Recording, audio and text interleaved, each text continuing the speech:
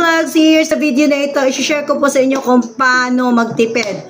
Lalo na dito sa panghugas ng plato since everyday naman po natin ito ginagamit guys. Ayan si Hana. So, gagawa po tayo today ng sabon para sa paghugas ng plato. Ito po yung box guys.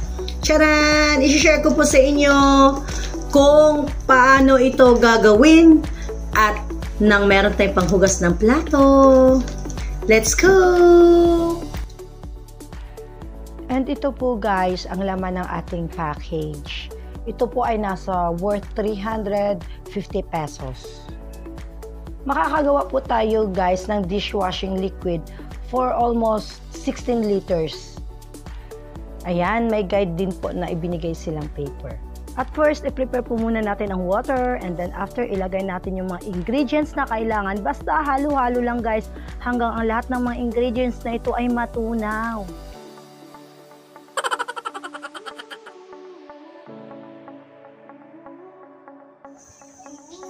Ayan, nilagay na natin ang pangkulay, ang kanyang colorant.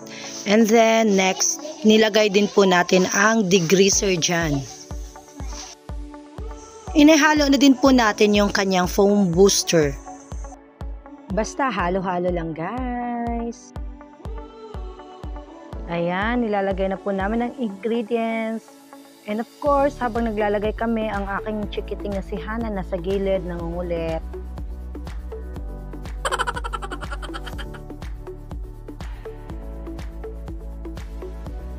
Habang hinahalo namin yan, actually nagreklamo na po talaga yung aking assistant dyan. Pagod na daw siya kakahalo.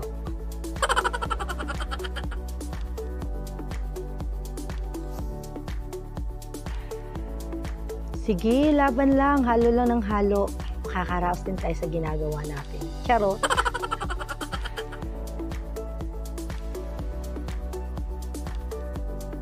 And yan guys, after namin nahalo, ayan, medyo malapot na po siya. And then we rest it for 24 hours. Okay.